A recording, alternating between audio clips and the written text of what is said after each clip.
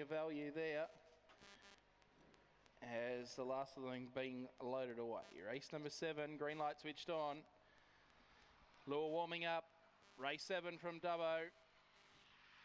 Favourite from the inside trap.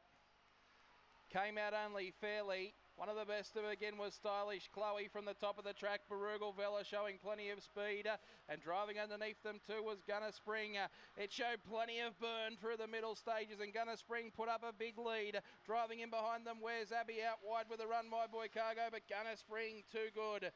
Beat My Boy Cargo, then came Where's Abby up in behind those Jacobite seven. Not far off them, Urango Luke was Stylish Chloe and Barugal Vella was one of the last ones in. Gunner Spring, 470 and 150 for Paul Wasson.